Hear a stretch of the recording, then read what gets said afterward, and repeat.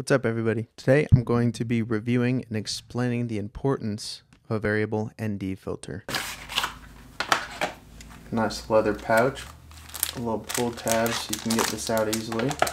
It's very beefy, very sturdy. Go from dark uh, with this tab, slide it, slide it, slide it, and it gets lighter. And also another great reason why you should have a filter on a nice lens like this is you don't want to scratch the end of your glass. I'd way rather scratch a $150 filter than my $3,000 lens. ND2 all the way to 400. There's nice tabs so we can keep track of how dark everything is going to be. So these are the exact same settings that I was using inside.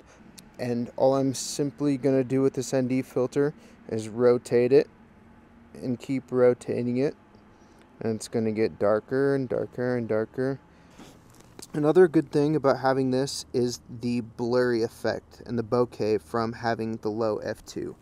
This is my first try with this filter and I'm already loving it. It looks really good.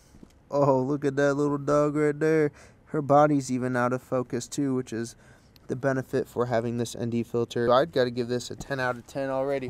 It was 160 bucks. Um, there's more expensive and more cheap ones. I think this is right in the middle of the road. Go get yourself one. It's going to protect your lens, give you more cinematic quality, and overall up your game.